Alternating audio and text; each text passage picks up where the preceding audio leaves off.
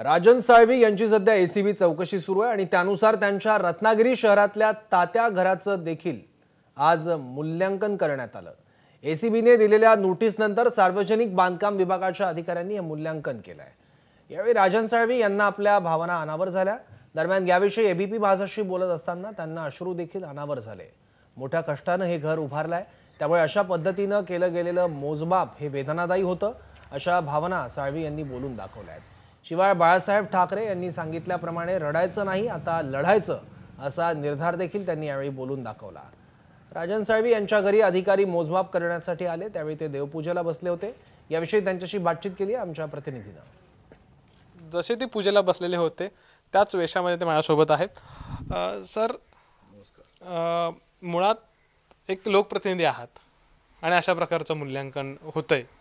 ACB चौकशी सुरू आहे. आपण समजू शकतो की चौकशी अंतर्गत नियमानुसार सगळ्या गोष्टी सुरू आहेत. पण या अवस्थेत तुम्ही असताना मूल्यांकन होत होतं. मनातली भावना काय होती? आज मी माझ्या हाताने केलेलं उभं घर मला या ठिकाणी पाहायला मिळालं. काय पाहायला मिळालं? मोजपट्टी लावताना. आज आपण पाहिलं तर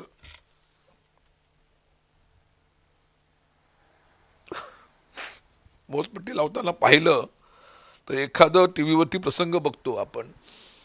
की एखादं घर लिलावामध्ये निघतं आणि त्यावेळेला त्या लिलावावर मोजमापटी करून ते सर सामान बाहेर काढलं.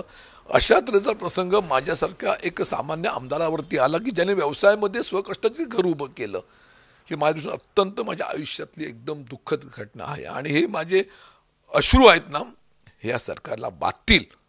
प्रतिनिधी जर का अशा पद्धतीनं रिॲक्ट होतोय याचा अर्थ आपण असं म्हणू शकतो की त्यांना नेमका धक्का जो आहे किंवा त्यांच्या मनात नेमकं काय चाललेलं आहे हे सांगण्यासाठी किंवा हे समजण्यासाठी पुरेसं आहे. कॅमेरामॅन मेहबूब शेखसह अमोल मोर एबीपी माझा रत्नागिरी. एबीपी माझा उघडा डोळे बघा नीट.